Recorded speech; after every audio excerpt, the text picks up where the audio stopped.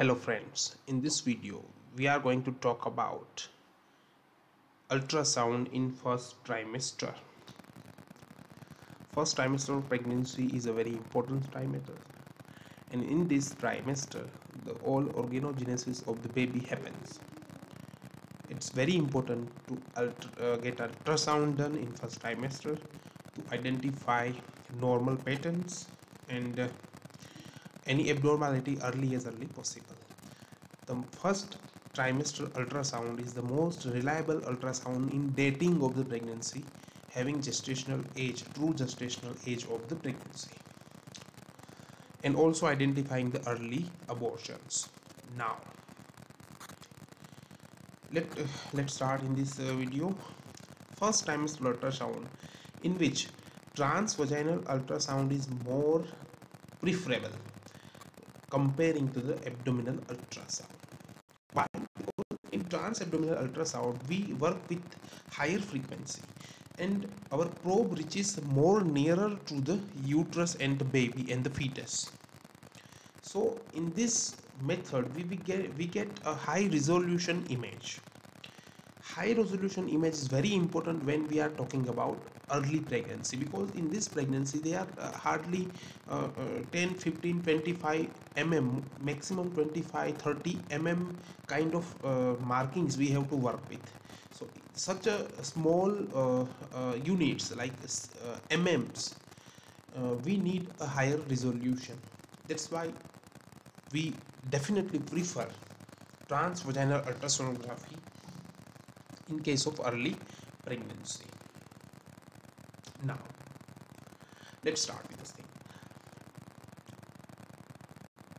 Uh, when you see in normal uterus in this in this slide i have seen this uh, the, the normal uterus you see on transvaginal ultrasound without a pregnancy is like this. This is anterior wall of the uterus this is posterior wall of the uterus and the between them it's seen as endometrium transvaginal ultrasound probe is reached to the cervix here. And from here we get the image.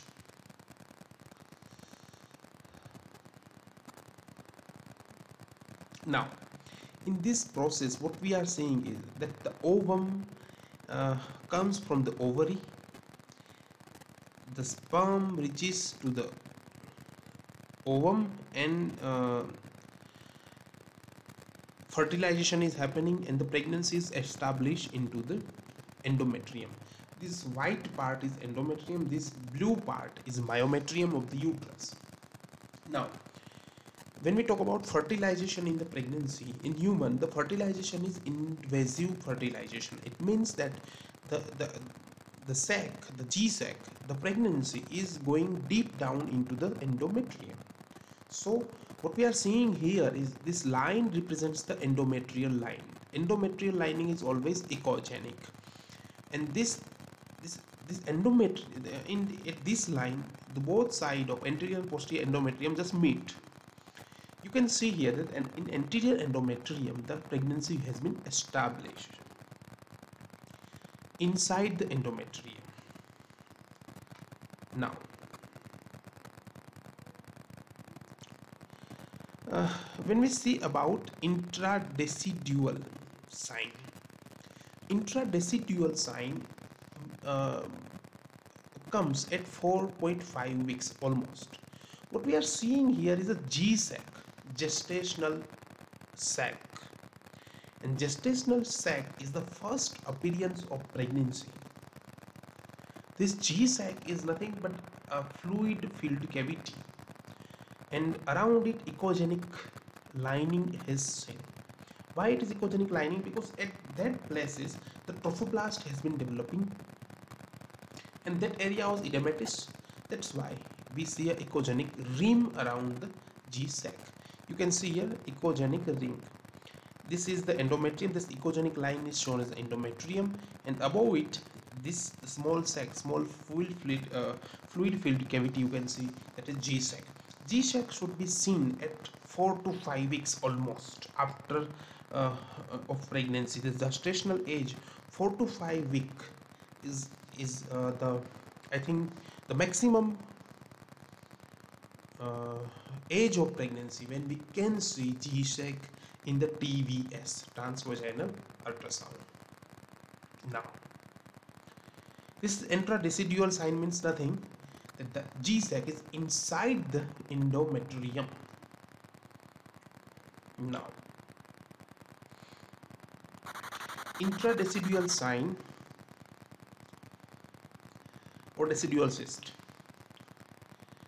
In this thing, uh, we have to we have to establish that, that our pregnancy is intrauterine or extrauterine when we see intradecidual sign it's almost almost certain that our pregnancy is into the endometrium and intrauterine not outside the uterus but it is not the confirmatory sign again.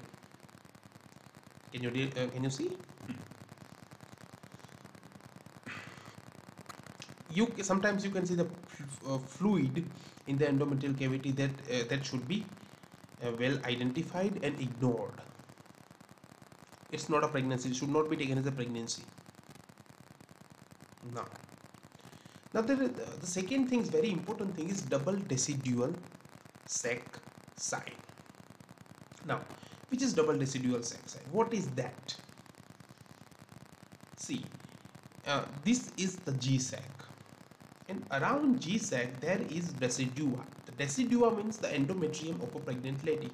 And that decidua is called decidua capsularis this one. And again the decidua seen which lines the endometrium it is called decidua parietalis so what is happening in here? When we see there are two rings seen around the G sac the one sac we see is because of the decidua and the another sac we see is because of the chorion of the developing chorion of the G sac. So two echogenic rings are seen that is called double decidual sign. It is seen at 5 weeks and double decidual sign is almost certain of the intrauterine pregnancy. Now the third thing we find out in, in, in pregnancy is yolk sac.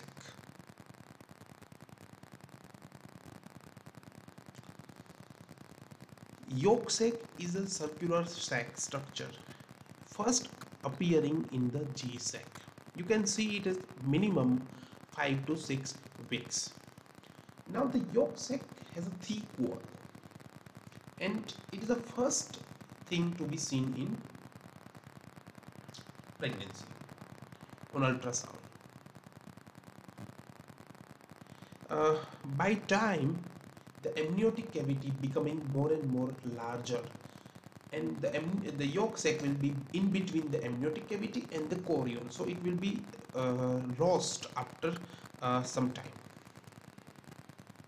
When the amnion amnion fuses with the chorion that is 14 to 16 weeks we lost the yolk sac. Uh, now what is the role of yolk sac? Yolk sac is definitely a very nutritive sac and it provides nutrition to the or, or uh, developing uh, embryo now the fourth thing to appear after G-sac then decidual signs then yolk sac and the fourth thing appear is fetal pole. Now the fetal pole is the real fetus. Yolk sac is not a fetus. Sometimes sometimes people the new beginners actually miss uh, uh, misdiagnosis the yolk sac and the fetus or kind of abdomen of the fetus. No it is not abdomen of fetus it is yolk sac. Fetus appear as a fetal pole and that is a very small starting from 2 to 5 mm at one end the ring one end of the ring of yolk sac and you see here is diamond ring sign. This diamond ring in the diamond in sense here is the fetal embryo. It is seen at 6 to 7 weeks of the pregnancy. By this time at 6 weeks of pregnancy uh, you can identify any flickering structures and that will be the heart. Heart of the baby. Cardiac activity can be seen at this value at this age. Now the fifth structure going to be appear is amnion. Amnion is a structure which is developing from the fetal pole and chorion it's going to be bigger and bigger and the yolk sac is going to be obliterated between chorion and amnion. See you can see here this is yolk sac the circular structure is yolk sac. This is fetal embryo and this is becoming the amniotic sac. The amniotic sac is going higher and higher bigger and bigger and at the time chorion and amnion will be jointed so the yolk sac will be obliterated. Amniotic sac can be seen at 7 weeks and then at this value okay uh, so you see here is first drop of yolk sac and then in this video the yolk sac is small the amniotic cavity just uh, closing the yolk sac etc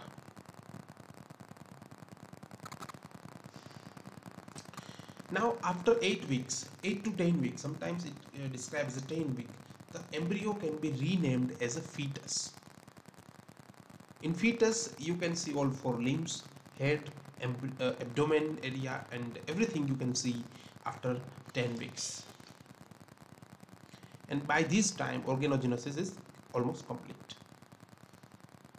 So a revision there's nothing. First of all we see intradecidual sac.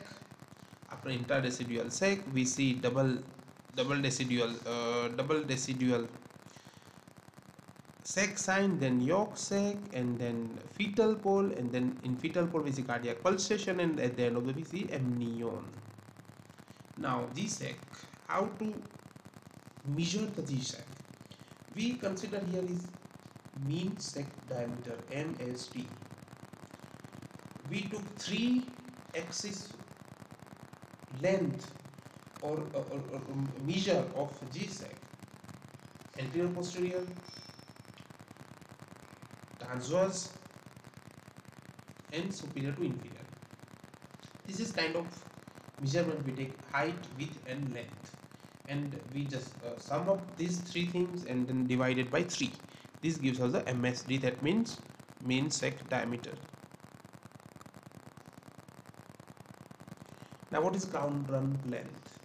Crown rump length you can identify after uh, seeing the fetal pole. It is measured from the tip. The highest point of the crown means head to the rump crown length CRL is the actually the most significant and most appropriate exact marker of the age of the fetus.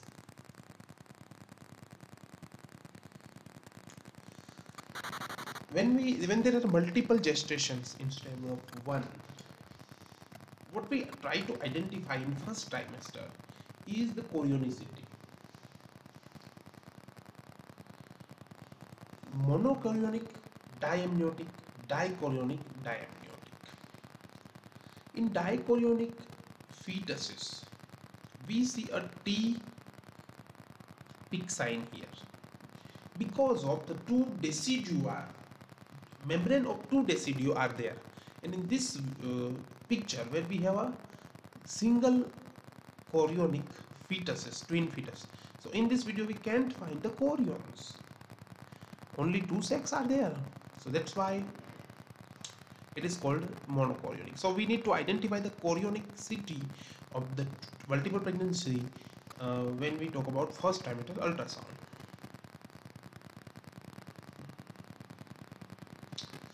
Thanks for watching